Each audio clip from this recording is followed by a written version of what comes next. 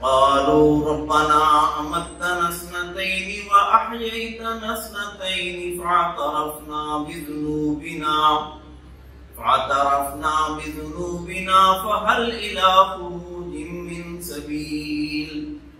صدق الله العظيم. كيف تكفرون بالله وكنتم أمواتا فأحياكم؟ تم اللہ کے ساتھ کیسے کفر کرتے ہو؟ حالانکہ تم مردہ تھے، اس نے تمہیں زندہ کیا۔ سما یمیتکم سما یحییکم پھر تمہیں مار ڈالے گا پھر زندہ کرے گا سما الیہ ترجعون اور پھر اسی کی طرف لوٹائے جاؤ گے کیف تکفرون باللہ وکنتم امواتا فاحیاکم how can you disbelieve in Allah when you were lifeless he brought you to life summa yumitukum summa yuhyikum then he will cause you to die then he will bring you back to life. Summa ilayhi turja'oon. And then to him you will be returned. یہ قرآن پاک کا بیان کردہ cycle ہے روح کا اور جو ہم سمجھ سکے ہیں مختلف بزرگوں سے اور تفاصیل سے جو روح ہے نبی پاک صلی اللہ علیہ وسلم کی حدیث کی روشنی میں، وہ چار مہینے کی عمر میں ایک فرشتہ آتا ہے اور ایمبریو کے اندر اس کو ڈالتا ہے۔ اب روح اور جان میں فرق ہے۔ اینی سپرم اور any egg is a living organism روح is what makes humans different from all other creatures from all other animals. It comes from the heavens. And the body comes from the earth. اور ایک اور آیت ہے، جس میں اسی cycle کا تذکرہ تھوڑے سے مختلف انداز میں ہے۔ یہ سورہ غافر کی آیت ہے۔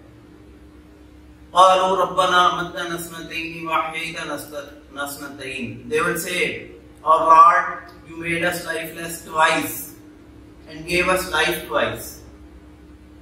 Father of Nam is بِذْنُوبِنَا And we have confessed our sins. فَهَلْ لَا خُرُوجٍ مِّن سَبِيلٍ So is there to an exit anyways? وہ کہیں گے ہمارے پروردگار، تو نے ہمیں دو بار مارا اور دو بار ہی زندہ کیا اب ہم اپنے گناہوں کا اقرار کرتے ہیں تو کیا آپ بھی کوئی راہ نکلنے کی سبیل ہے تو یہ ایک مقالمہ ہے جو قرآن پاک نے نقل کیا ہے جو جہنمیوں کا اپنے پروردگار کے ساتھ ہوگا۔ اب اس میں جو غور کرنے کی بات ہے کہ دو مرتبہ موت دی اور دو مرتبہ زندگی عطا کی۔ کیا مطلب؟ ہم تو سمجھتے ہیں موت کو جس طرح سے وہ مفہوم قرآن نہیں لیتا۔ قرآن ایکچولی موت اور حیات کو فیزز یا کیفیات کی طرز میں بیان فرماتا ہے۔ روح اللہ پاک نے پیدا فرمائی اور تمام ارواح کو جمع کر کے ان سے پوچھا، الستو ربکم am I not your lord and all of them said قالو بلا no doubt you are our lord تو دس میسا اور covenant was taken right at the time of creation of our arwah. It is known as the covenant of Alas. So that means the spirits were created. So the definition of death is when spirit is not there in the body. When the spirit and the body are not united, that is death.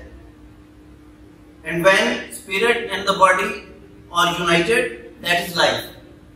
तो रूह जब इस کلبوت پنجابی میں کہتے ہیں اس کو۔ روح جب کلبوت کے اندر ہے تو دس از لائف اور روح جب کلبوت میں نہیں ہے تو دس از ڈیتھ تو اسی لیے قرآن پہلے موت کا تذکرہ کرتا ہے۔ خالق الموت اور حیات علی والحیات لیبلوکم حکم احسن عملا۔ وی created death and life to judge whosoever is doing the right deeds the first death was created the ruh was there without body.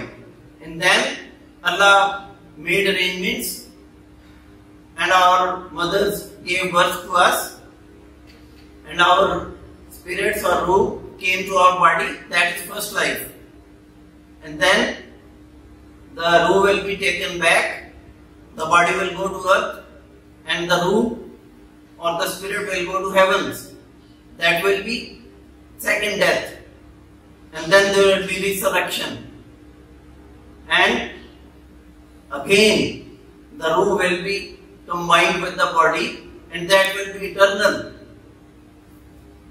خالدین فیہا ابدا whatever the reward of this first life will be there in the second life that will be تو وہاں اس internal life کے اندر یہ کہہ رہے ہیں وہ कालू रब्बाना अमद्दा नसनतैनि वाहिदा नसनतैनि फातरफना बिजुनूबिना फहल इला खुरूज मिन सबील O Lord, you have you made us lifeless twice and gave us life twice, and we have confessed, confessed our sins. So is there any exit, any way? And they will be told that there is no exit anymore. तो अल्लाह हमें इस vital phase of our spirit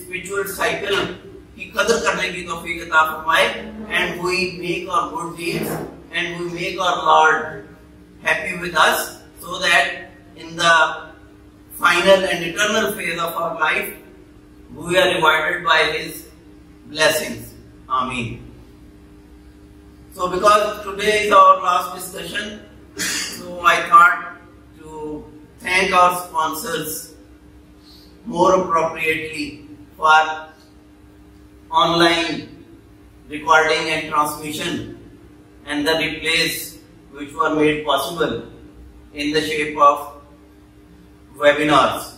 So we are thankful to Optimus Pakistan and thanks are due to them more in, in, in relation to today's lecture as well. That is, we are going to discuss premium IOLs and Swiss Advanced VN has launched one of the first EDOF EDOF lenses with the name of Lucidis. And this is, I am doing research on it and I have keen interest in this intraocular lens because it combines economy with quality. They have combined it EDOF with EDOF, a simple monofocal lens and it comes almost in the price of an aspheric lens and it is a beautiful optics. So we are thankful to them for providing this lens and there will be one of the videos I will present of this Lucidis today as well. Then I wanted to bring to your notice that the replays of all the videos, there are about 11 lectures already there on this website and there is PowerPoint slides as well for your review. And very soon we will be giving the download option as well. You can view it and if you want to download the PowerPoint presentation, there will be a download button available. The address is eyeacuity.com slash courses slash phaco course. What you need is you have to register yourself. There will be a window with the name of that the courses are not available until you log in. And you have to register yourself before logging in. And then both of the course will be available with replace videos. Then you will have the PowerPoint slides to browse and there will be PowerPoint outline as well and we will try to make and uh, present a pre-test and post-test as well. So that is a learning management system which is here at eyeacuity.com slash courses slash phaco cataract course. ताज़ा share भी पेश किए जाते हैं نثار کرتے ہیں تجھ پر جو جان پروانے نثار کرتے ہیں تجھ پہ جو جان پروانے یہ ندیم صاحب کی نظر ہے۔ نثار کرتے ہیں تجھ پہ جو جان پروانے خدا کرے کبھی تو بھی ان کو پہچانے۔ نہ شوق کم ہو، نہ شمع کی آنچ ہو مدم نہ شوق کم ہو، نہ شمع کی آنچ ہو مدھم۔ غفور عشق کا انجام اب خدا جانے۔ بہت شکریہ دوسرے مصرے سے میں دعا بھی کرتا اردو ان کی بھی بہت اچھی ہے، ایسے کسرے لفظ سے کام لیتے ہیں۔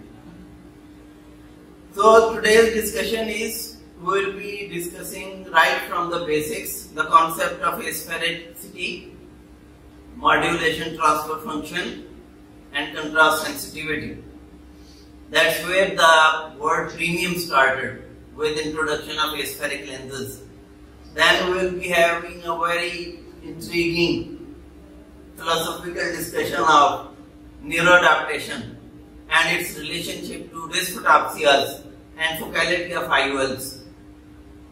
Then we will be seeing bi, tri, multi and progressive focality and EDOF technology. Then we will be having a little discussion on premium IOL practice itself, innovation and advances in cataract IOL planning and surgery, and then combining economy with quality in premium IOL practice. In premium IOL practice, we will be taking up multifocal IOLs and EDOF IOLs, as well as we will be having a little chat on toric IOLs. So first we are deal with very basic concepts. That is quality begin after cataract surgery, concept gains and expectations. It's one of the discussions which I made when aspheric IQ was introduced. You, you know the difference between asphericity and spherical lenses? See, as we always discuss, this is a contrast vision comparison. You can see there is poor contrast and in this picture there is very good contrast. Similarly, the patient may be able to and we welcome Professor Imran Akram Sahab. It's a great pleasure and honor for us. I received a call from him yesterday that he will be coming to join the session, to, to honor our session. And my heart was full of joy because he is one of the Ustadul Asatis, teacher of teachers. So I am lucky to have worked with him for about three years and there are many oculoplastic procedures which I perform routinely like squint, ptosis, facial atta, enucleations, silicone eye filling which I even now perform all those I learned from Professor Imran Akram Sahab. And it, it's a great honor for us that he is here to encourage us and to give recognition to this phaco cataract uh, course. And I feel Professor Nadeem Hafiz Butt has also the same feelings.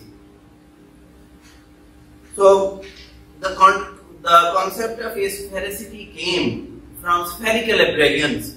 We will see that. Definition of real acuity. This is from Adler's physiology. Spatial limit of visual discrimination is known as real acuity. And it literally means, acuity means sharpness of vision. This is a sequence of events that start from eye capturing the photons emitted by an object and then transforming uh, them into action potentials and culminating into visual cortex sensation of vision in the occipital cortex. Contrast sensitivity measures two variables, size and contrast, while acuity measures only size. So that's the difference between contrast sensitivity function and real acuity testing. And you can see here, Snellen's acuity we all know and this is a contrast vision chart where not only the size of the letters is changing but the contrast of the letters is also changing from top to bottom.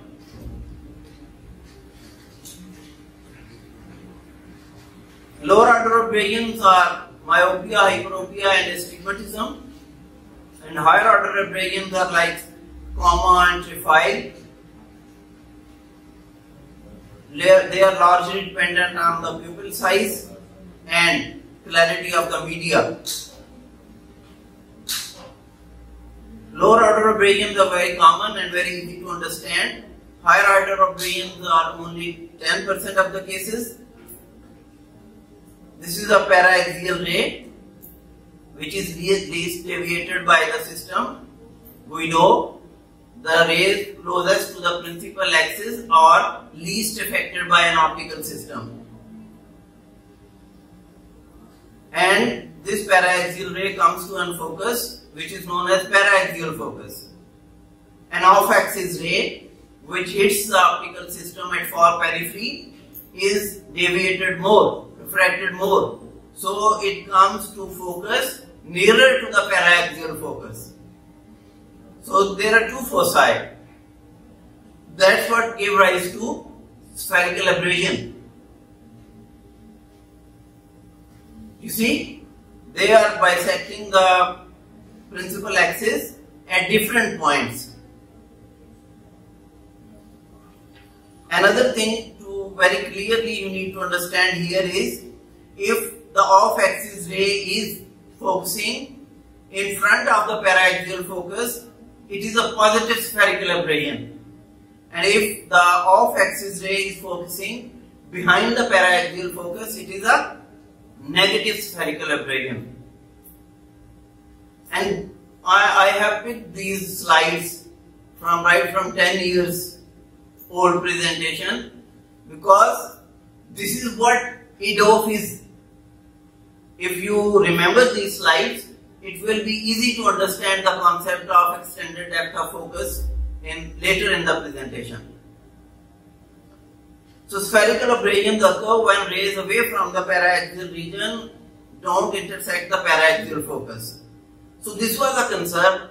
So that's why the curve of the lenses was modified in a manner so that the lens was less curved in the periphery to bring all those rays into a point focus. And that's what conoid of Sturm is. There is a circle of least confusion and then there are positive and negative spherical aberrations given to a range of foci and if you diffuse all those or you bring the focus back to a point focus, the circle of least confusion is finished and that is the concept of asphericity.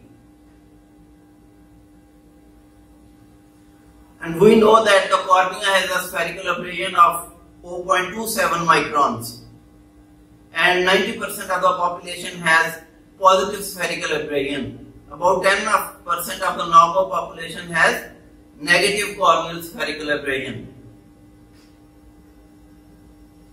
So there is a difference between young and aging eye as well. In a youthful eye, cornea is here with positive spherical aberration, whereas the crystalline lens has a negative spherical aberration of 0.18. So net spherical aberration in a young eye is 0.10. So they cancel the positive and negative spherical aberrations of each other and the quality of the image is better in a youthful young eye. Whereas in old eye, the spherical aberration of the cornea remains unchanged, whereas the crystalline lens loses its negative spherical aberration. So the net result is more positive spherical aberrations in old age. So that was the concept which Alcon grabbed and used to manufacture AcrySof IQ lens. That they tried to bring the net effect of intraocular lens close to the natural youthful lens. So this is a verse from Samuel Taylor Coleridge. Not care this body for wind and weather when youth and I lived in it together. बसारत पे समाज पे चेहरे पे बदन पे माओ साल जो बीते निशान छोड़ गए لینتھ پہ بھی کارنیوں پہ بھی ہر جگہ ایج اپنے نشان چھوڑ جاتی ہے so we are thinking beyond real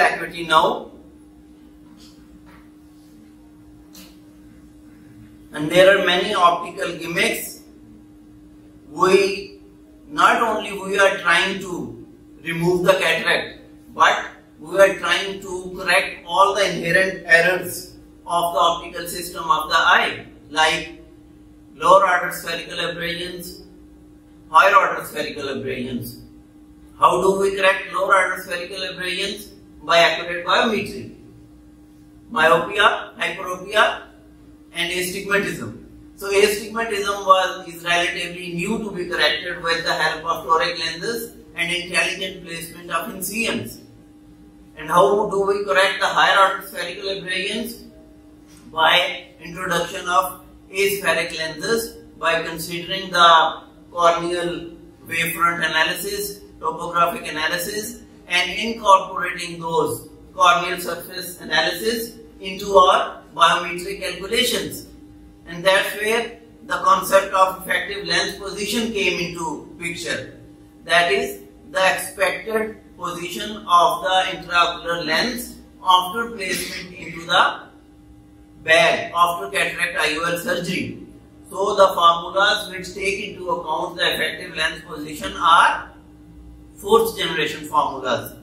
And now the fifth generation is also there which takes into account the artificial intelligence. The AI based formulas are there now to calculate the biometry which take into account like OCT, like perimetry analysis. The age match normals are already there to compare for the software and if the software tells you whether your calculation matches is in the normal domain of the formula or it is outbound or an inbound error. Point spread function. The point spread function describes the response of an imaging system to a point source or a point focus. This is one basic test which we use in vivo analysis of intraocular lenses you will see in the later slides. Modulation transfer function and contrast sensitivity function are the other terminologies used. The MTF indicates the ability of an optical system to reproduce various levels of detail, spatial frequencies from the object to the image. The ability to detect objects of different size at low contrast is expressed as CSF contrast sensitivity function. This is how we measure the modulation transfer function. We offer the differently placed, differently sized and different intervals of gratings to the system and then the image after passing through the optical system is captured by CCD's cameras and then analyzed with the software. MTF is equal to modulation transfer function of the image divided by modulation transfer function of the object. You can go in detail if you like in the slide review later on. These are various devices which are used. A code light source is turned on, monochromatic light is passed through the IOL to be tested. A CCD camera is used to capture the image and I will show you the uh, a video of Apple's original analysis of multifocal IOLs and EDOF IOLs. This is the grating which is presented to the optical system and these are the possible results which are captured by the CCD camera to analyze. The good is that it is just comparable to the object. The fair is, it is dull but still you can make out as you are comparing the resultant image on the CCD camera with the object gratings and poor is poor as you can see very well. कब मर्द हुआ रुखसत कब मैंने शफा पाई सुनते हैं मिला तुझको एजाज मसीहाई لازم ہے بسات مسیحہ سے دعا لینا۔ فقط دواؤں میں شفا ہے نا مسیحائی۔ یہ میں نے وارڈا کے مریضوں کے لیے لکھا تھا۔ وہ ڈپارٹمنٹل ہاسپٹل ہے، تو ایکسپیکٹیشن بڑی ہائی ہوتی ہیں۔ To summarize the quality of V N concept started from his introduction of spheric IOLs and contrast sensitivity was also thought to be important in the discussions. And the company started to find out a lens which matches the youthful eye. And uh, with this, we move on to our set, part set two, that is neuroadaptation and its role with the dysphotopsias.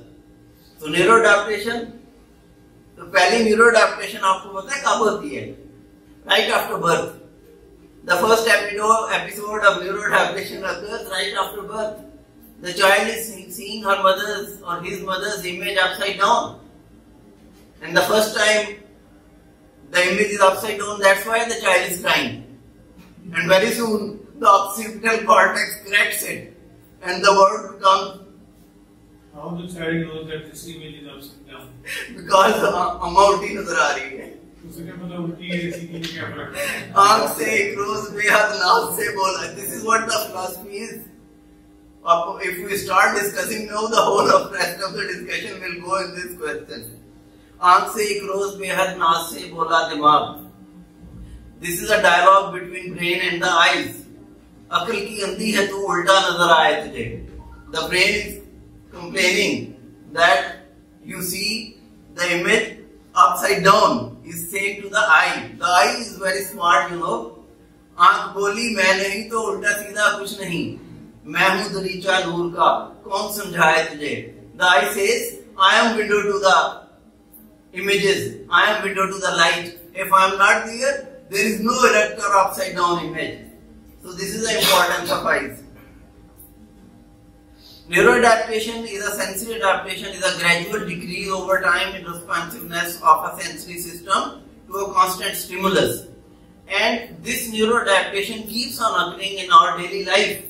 without knowing on subconscious level. You, you put your hand on a hot surface.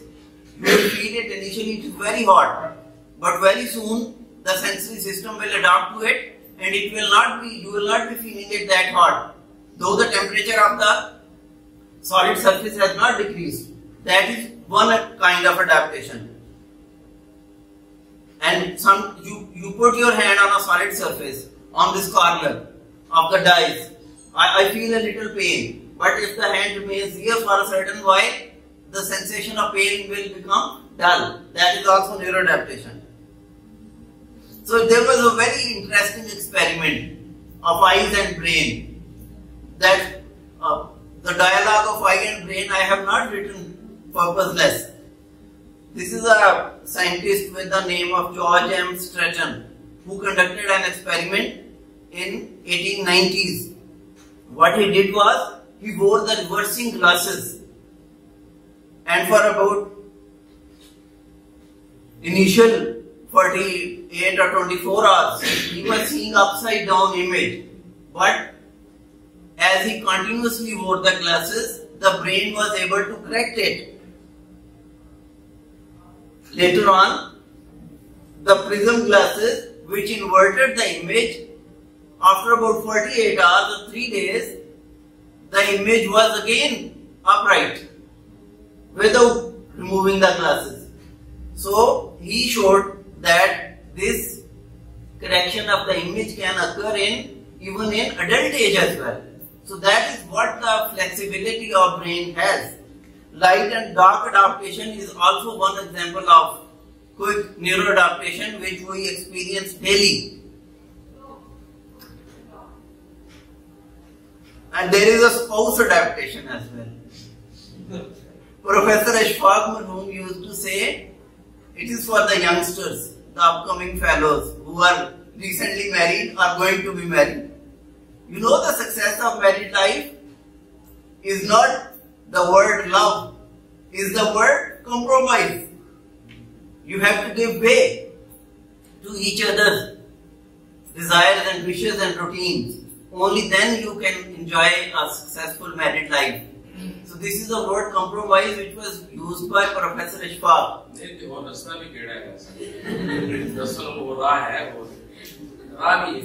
خود ہی تو کہتے تھے مجھے خود کو بدل لو خود ہی تو کہتے تھے مجھے خود کو بدل لو بدلا ہوں تو کہتے ہو کہ اب وہ نہ رہا میں بدلی ہوں تو کہتے ہو کہ اب وہ نہ رہی ہوں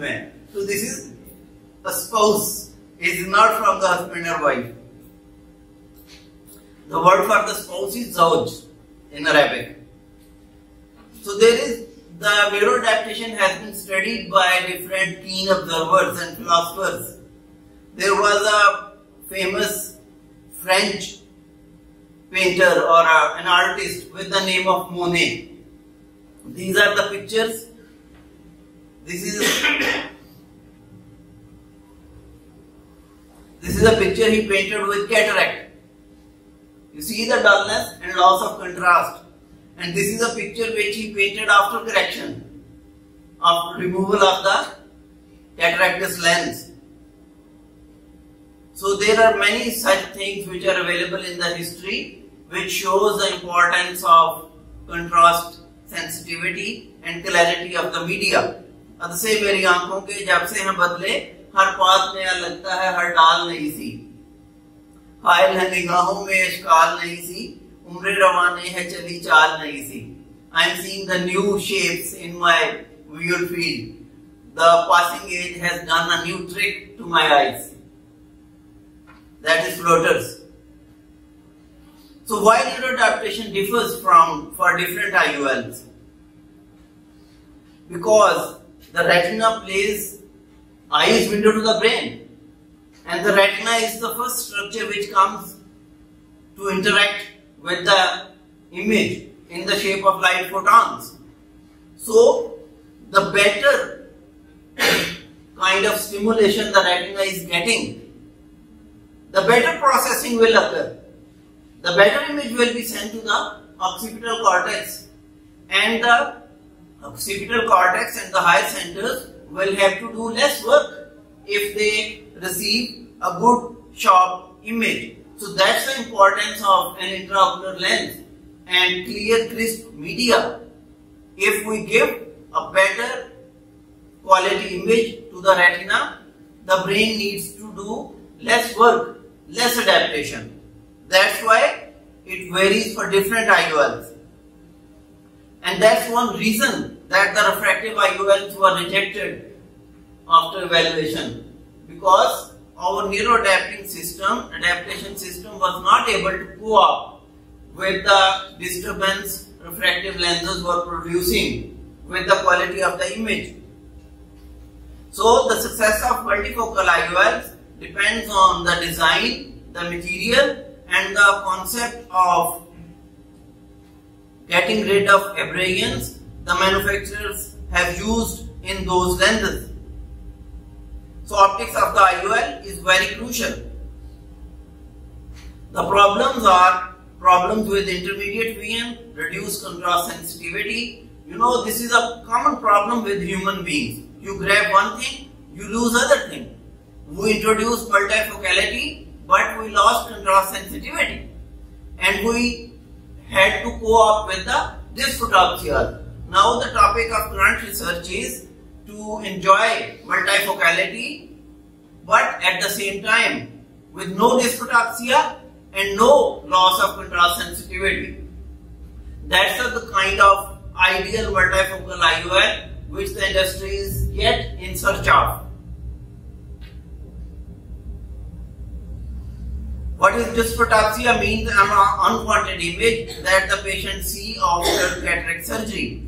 We have discussed already the positive dysphotopsia and negative dysphotopsia. This term originates from positive spherical aberrations and negative spherical aberrations and positive dysphotopsia is unwanted new image.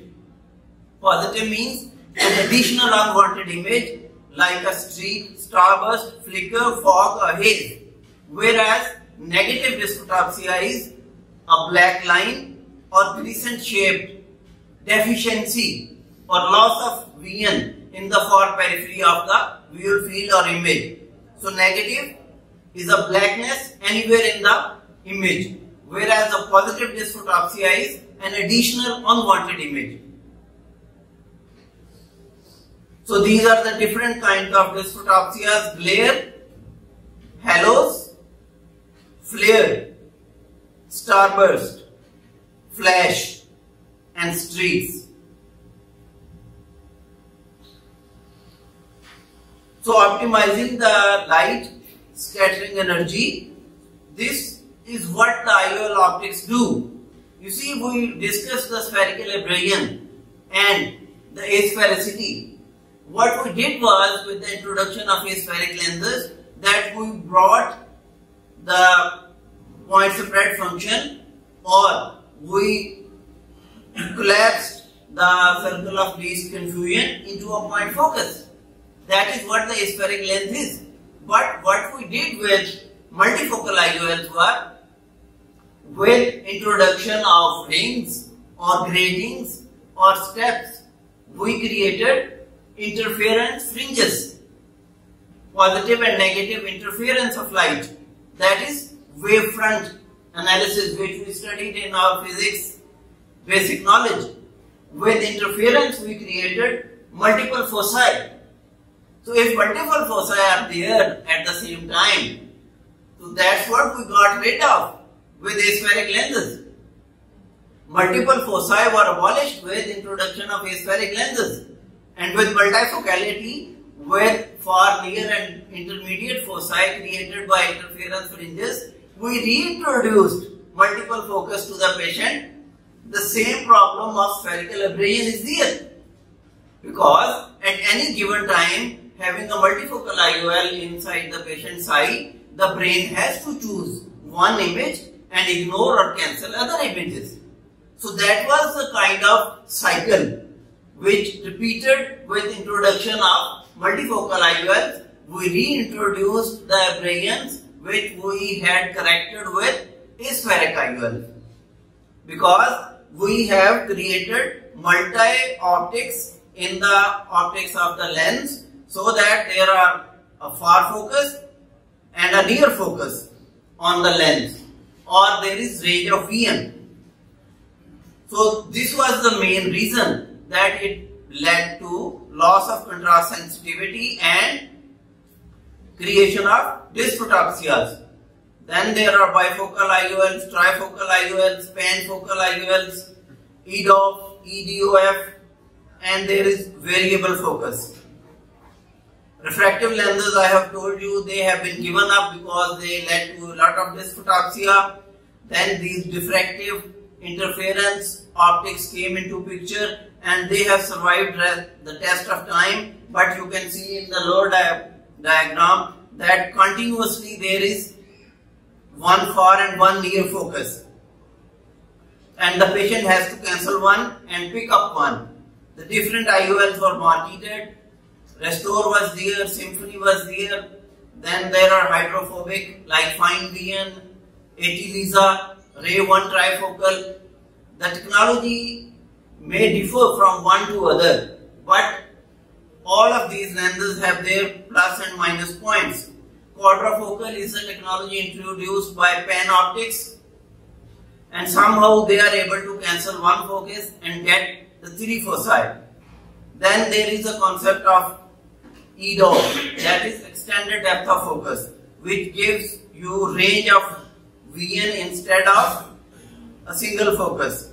And recently Medicontour has introduced elevated phase shift technology in which they have intelligently modified the distance between, you see, FineVision by PhysIOL, this is AT-LISA by Zeiss, Alcon PanOptix, these FineVision and Zeiss have gratings or rings in whole of the optic, whereas Alcon has a peripheral part of the lens dedicated to far VN only, and similarly the Rayner has gratings in the center, and then there is a dedicated optic for monofocality as well.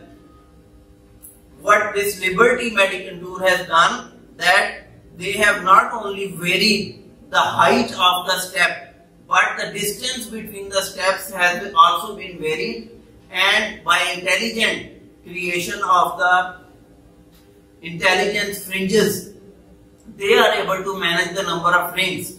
They have reduced the number of rings from 14 to 6, I think, or 7. So they have to dedicate less area to the optic. So what is it of? That you modify the wave front by introduction of a central spherical button which gives rise to intelligent introduction of spherical aberration in the center. The peripheral part of the lens is dedicated to foveation and in the center the spherical aberration is re reintroduced and thus the range of focus is attained with the intelligent reintroduction of spherical aberration into the lens. That gives rise to extended depth of focus. So sometimes the technology moves in cycles. This is a concept concept of continuum of foci that is introduced by SIFI with the name of MiniWell. The Italians are also great thinkers. They have blended different zones without any steps. That's why they have given the name progressive multifocal IOL because there is there are blended zones without any steps. And the two central zones are there in which again spherical aberration is used to create range of intermediate and near vision and then in far periphery there is third aspheric zone which is dedicated for crisp vision. So this concept is there with minimal dysphotopsia and minimal loss of contrast sensitivity to our experience. That is SIFI MiniWell. And the beauty with Lucidis EDOF is that it is a simple bifocal lens which gives about 90% spectacle independence and it combines economy with quality. And the Lucidis also has a trifocal EDOF as well, like SIFI. So combining economy with quality was my one of the things to be touched today. That is the first word premium we started using with aspheric lenses. So the most economical aspheric IOL which is as good as Rayner aspheric and as good as Actisa 5Q to our experience. We have not evaluated it with the modulation transfer function or other things, only patient experience. That is iReflex, which is being manufactured by the same person who is importer of the Rayner. So I have found that lens in behavior wise as good as Rayner aspheric itself. So your patient can benefit with quality of aspheric lens, with economy, with the IRIS flex. Then astigmatism management at top level, there are Alcon, toric lenses, Zeiss has got, SIFI is there, but the beauty with the MiniWell toric ready lens is that it is again economical. You can almost get it in the price of an aspheric lens. It is a four haptic design and four haptic design gives you about 1 degree, 120 degrees of contact and more stability inside the capsular bag as compared to Alcon's Stabi Force IOL haptic design that is two point fixation rather. So this four point fixation gives you another good point, a good edge over the routine lens because you can rotate it both ways because of the four, four ear or four ears you can say or four haptics long uh, post-op follow-up you having with the SIFI MiniWell? SIFI MiniWell I have about six months. Six months. There is absolutely no rotation.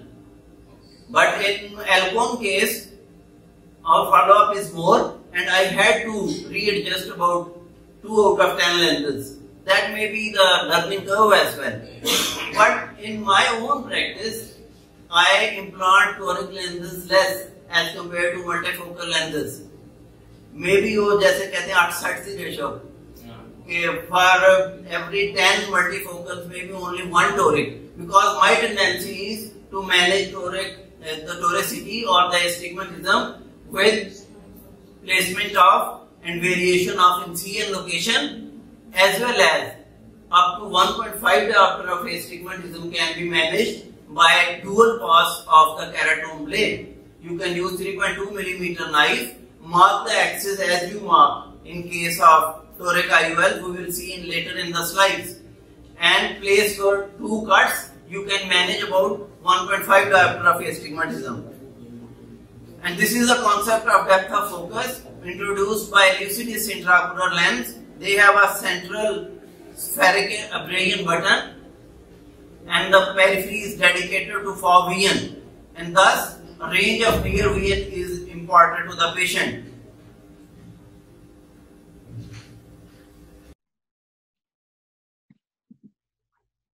Bismillah ar-Rahman ar-Rahim.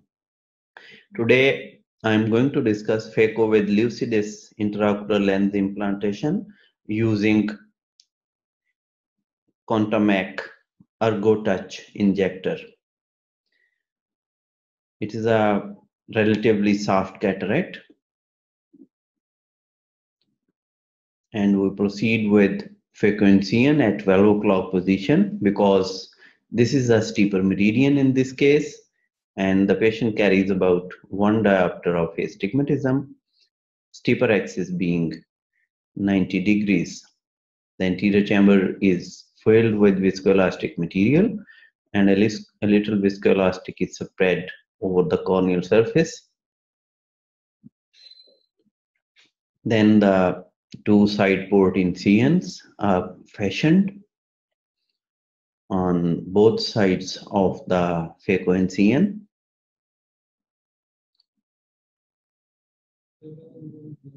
Because my preference is bimanual irrigation aspiration, that's why I prefer two incisions.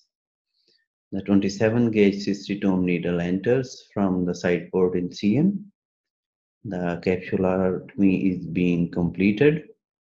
Tongue of the capsule is everted and then all the rest of the pull push force is applied on everted anterior capsule. A very beautiful round rhexis is completed. Hydro dissection comes into the picture, which is performed in incremental multi-quadrantic fashion little by little in each quadrant which is followed by hydro delineation and there is yellow ring sign. Generally i prefer the temporal approach for both eyes but in this case i placed my incision at 12 o'clock position. The phaco handpiece comes into the picture. Little groove is prepared in the center tunnel. And then I try to crack the nucleus and realize that it is probably being soft to cataract not possible so I modify the technique and keep on creating a central crater till the nucleus becomes disengaged and everted at one end and easily emulsified. After emulsification of the nucleus, perinucleus is being taken care of. And once this perinucleus is softly emulsified, I replace the chopper with a fine polished spatula and complete the phacoemulsification, and then bimanual irrigation, aspiration, and polishing of the capsule is performed. The anterior chamber is filled with, with viscoelastic material. And here comes the EDOF IOL with extended depth of focus. a beautiful lens in our experience which combines the quality with the economy and gives quite good spectacle independence to most of the patients with its extended depth of focus feature. The lens is supplied in blister pack recently, along with Contamac Ergo Touch injector. Presently, being in era of preloaded IOLs, this appears to be a little cumbersome to me. The assistant has handed over the cartridge and now the blister pack is open and the lens is being handed over to me with the help of McPherson's forceps. I place the lens inside the cartridge under microscope and pressing it into the cartridge tunnel with McPherson forceps, we gently close the cartridge so that there is no haptic or optic catch. Then the cartridge is parked in the plunger. And interestingly, this beautifully designed injector lacks one interesting feature that is locking of the cartridge. Once the assembly is com complete, the plunger is moved in forward direction so that the lens is placed in the pre-delivery position.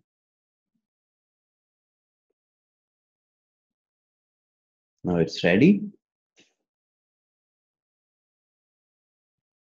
I have used 3.2 millimeter in CN here. It just snugly goes into the eye and a very slow injection process is my priority and I keep on watching the delivery of the lens till the last minute. As the haptic is opening up, I'm very slow in the process because this lens beautifully centers because of its atypical wider haptic design, but you need to be careful while injecting it so that you don't entangle the margin of the anterior capsule into the leading haptic. And my priority generally is to implant the trailing haptic into the bag with the help of injector by dipping it step. But in this case, it was delivered anterior to the capsule. Thus, I used Sinskey hook to position the lens in 3 and 9 o'clock positions. And again, bimanual irrigation aspiration comes into the picture for fine polishing and removal of the viscoelastic material from anterior chamber as well as it goes behind the lens to clear the viscoelastic from its posterior surface. And finally, as in all the cases, little hydro infusion of the corneal stroma to close the self-sealing incisions. The chamber is deepened and my tendency is to leave the eye tense at the end of the procedure. It's beautifully centered IOL so this was Lucidis intraocular implantation with Contamac Ergo Touch injector. Thank you very much for your attention.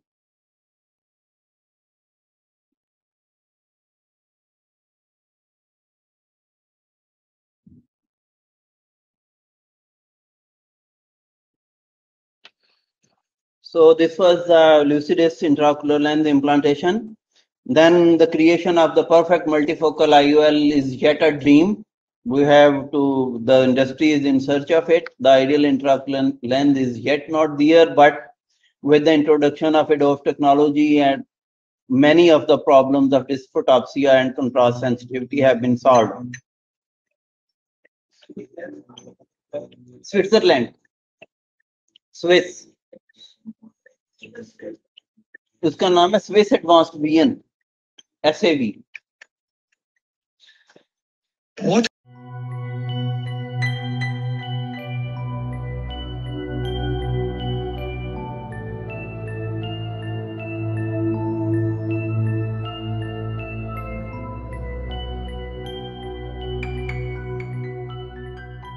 What kind of multifocal lens technology is available today? In this study, we looked at three different trifocal lenses the Fine Vision Micro F, the AT LISA 3, the AcrySof IQ PanOptix, and four EDOF lenses the Miniwell, the Lara, the Comfort Lens from Oculentis, and the Symfony from J&J Vision. How can we visualize the optical pathways of all these lenses? For the experimental setup for the study, we used a green laser source, as you can see here, and we stained with fluorescent a water bath in order to visualize the optical pathway through the lenses with this green laser.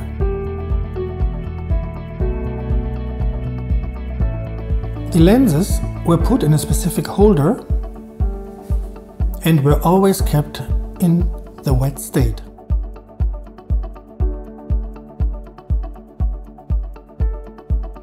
The images were captured with a digital camera setup. Video films as well as still pictures were assessed. Looking at the analysis, we used specific software for analyzing the light distribution to define the peaks of the near, intermediate and distance or the EDOF range of vision area. Here we see the AT LISA 3 trifocal intraocular lens. The analysis showed two distinct foci for near and distance and the intermediate area where we can see a slight plateau but still a distinct intermediate focus. Here we see the analysis of the AcrySof IQ PanOptix we can see here a predominant for the distance focus, a smaller focus for the near and very close intermediate focus. The fine vision shows a similar image like the Panoptix. In the MiniWell ready we can see a good focus for the distance and a small plateau which we call the EDOF area.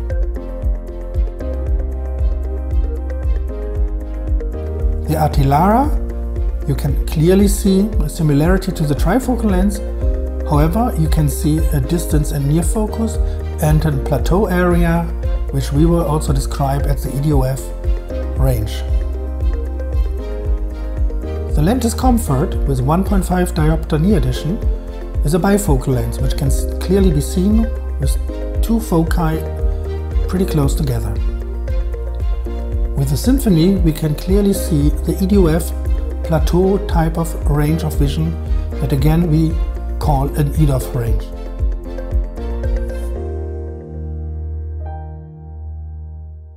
How can we translate what we have seen on the optical bench to the real world?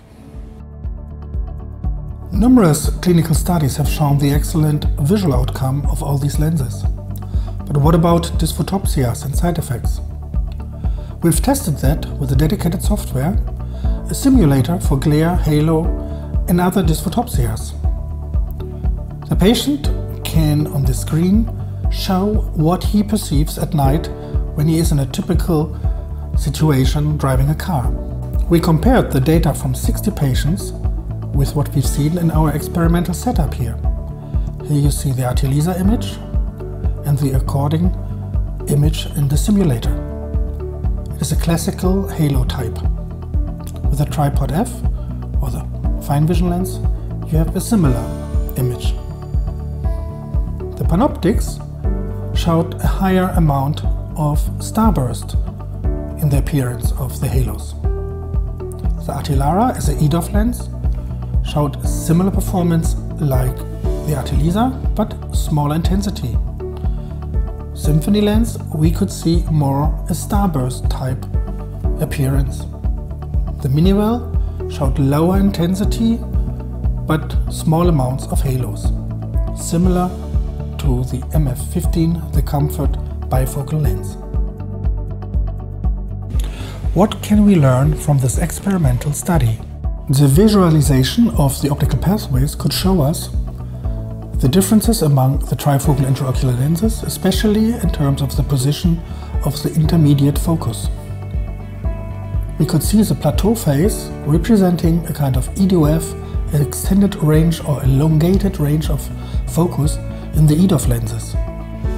The translation into daily dysphotopsias could also be visualized with a halo and glare simulator, showing more classical halo type for the AT LISA and the FineVision lens, but more starburst-like dysphotopsias with the PanOptix and the Symfony lens. In general, the EDOF lens showed lower intensity of dysphotopsias. There are more things that we need to explore for the performance of modern trifocal and EDOF lens technology. Uh, in vivo and in vitro analysis of EDOF and trifocal IOLs. And you have noticed that the EDOF gives a range of vision and this MiniWell especially gives rise to less dysphotopsia and less starburst phenomena. And the starburst phenomena was very significant and marked in case of PanOptix IOL because there are rings and steps in that which this EDOF technology has minimized or abolished. So success of multifocal IOL is right patient selection, good explanation, and then attention to the details. That is A's and K's, knowing the steeper meridian, knowing your surgically induced astigmatism, intelligent, intelligent placement of incisions, and choosing the right lens for the right patient. There was one of the professors of surgery who approached me for a multifocal IOL. And uh, we spent about two months with each other to choose the lens. Different options he was studying, I was explaining every time he used to come to me. And ultimately, we settled with MiniWell, that is Italian progressive lens. And uh, he is happy because there is no starburst, no dysphotopsia. He can drive happily at night. Because it is you know inside the eye, and we have a residual astigmatism of about my 0.75 diopters. And because we had we spent a lot of time together in discussion, so he has accepted to use glasses for that for fine vision.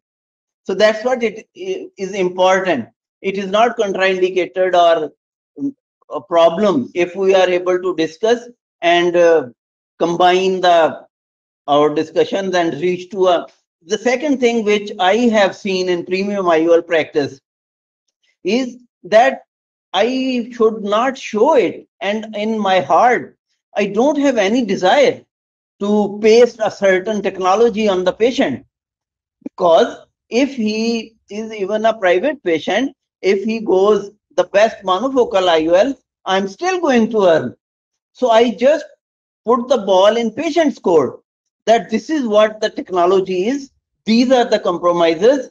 And I am explaining to you because it is my duty to explain the available technologies and the resources to you. And most of the time, the decision is arising from the pocket. And the second thing, if somebody is habitually or by professionally bound to drive at night, the real advice is not to implant these rings, trifocal lenses. The only option in today's technology for those patients is EDOF lenses because they give rise to less dysphotopsia at night.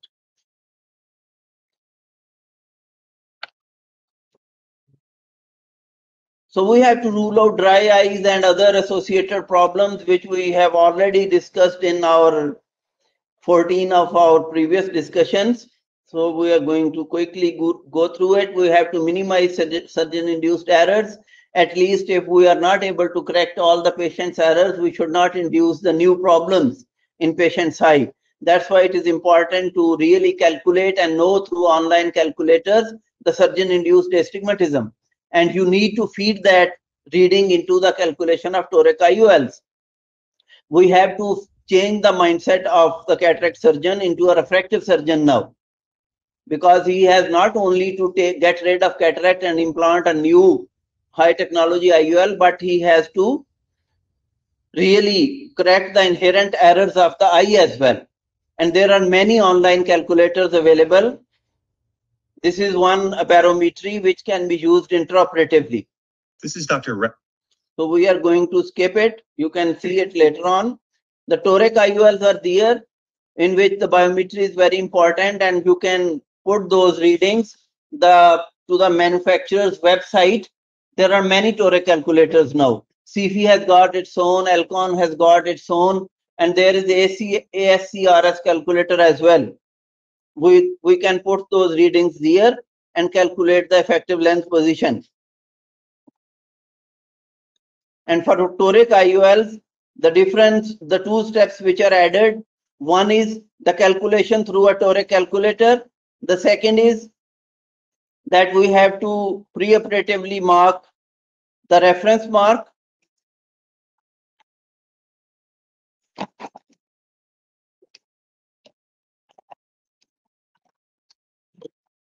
That is known as reference mark. And the reference marker may be used for this purpose. However we have seen that a simple marker patient sitting in line with a horizontal line drawn on the wall or any horizontal edge which is available at the level of lateral canthi of the patient. If we take that line as a reference and just mark it, getting our marker parallel to that line visually, or we can use the slit beam, turning it in a horizontal fashion and then mark the 0 and 180 degree position. So that is one pre-op step added and then intraoperatively we have the other marker available which will mark the axis of the intraocular lens.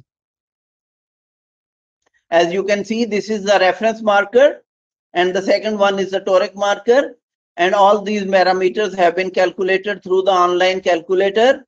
The reference marker is being used to mark 90, 0 and 180 degree meridians and the, then the final marker is being used to mark the position where the lens is to be implanted. This is the final positioning of the lens markers and these are the reference marks. The routine phaco is performed.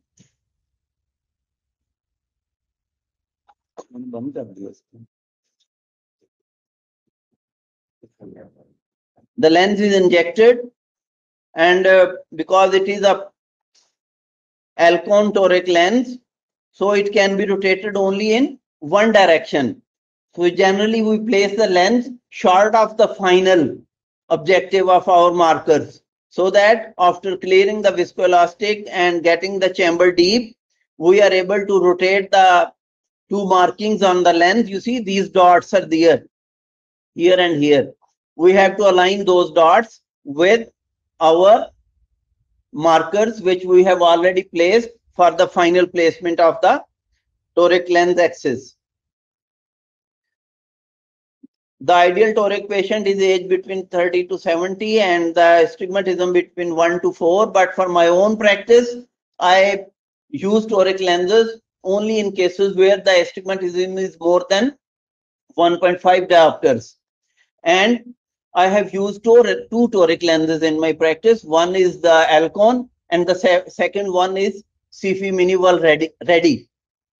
And I have found the SIFI MiniWell Ready to be more surgeon friendly and easy to tackle intraoperatively. And it is relatively economical as well. So the other premium thing is the introduction of preloaded IOLs see the Rayner and the Hoya and many other companies. Recently, I have used MBI as well. The beautiful preloaded designs are there for hydrophobic and hydrophilic lenses. And it really is a very positive addition to your intraocular lens phaco-cataract surgery because it abolishes the steps of handling the intraocular lens, a device which is going to stay in the eye of the patient forever. If it can go untouched into the eye, that's ideal. Hoya is one hydrophobic design, then the Rayner has got hydrophobic intraocular lens. And uh, it is also very good, but they it is relatively different and a little more demanding as compared to Rayner's hydrophilic design. You have to be more watchful and a little bit more patient while injecting a hydrophobic lens inside the bag because it has a, a, a specially introduced stability ears along with haptics in case of hydrophobic IOLs by Rayner. The future, you can configure your lens. That is the Harmony lens again by Swiss Advanced Vision. They have got an online simulator where the patient and doctors can sit. The patient fills the performer, the doctor fills the proforma. Then the simulator gives practical demonstration of the postoperative problems and gains to the patient. And the doctor and the patient both can opt for the desired power of the near addition, intermediate addition, and the far correction. And then the lens is ordered and is supplied, that is custom made intraocular lens, is supplied within 15 days to the concerned surgeon. Two lenses are actually sent. And uh, there is another concept which is being worked again by Swiss Advanced Vision, as well as uh, American companies are also working it. There is an autofocus sensor here, which senses the desire of the patient, whether the patient wants to focus for far, intermediate, or near. And then there is a mini motor in the lens, which is a kind of solar motor, and it is charged. And they say that it has a got very long life. This motor pumps fluid from these pockets into the optic. The curve of the optic is changed to focus for near. And once the patient wants to see again on a far object, like an autofocus camera, this sensor gives a message to the motor and mo motor ejects the fluid from the central optics to the to the side pockets. So this is configure your lens and lens with variable focus. There are about two, three companies working on this concept as well, and it has been found to be successful in pig's eyes, but no human experiment yet. So in premium IOL practice, under promise, overachieve, and celebrate your success. So we are again thankful to Optimus Pharma for sponsoring this online hosting and transmission of these 15 lectures of Phaco cataract course basics and advanced.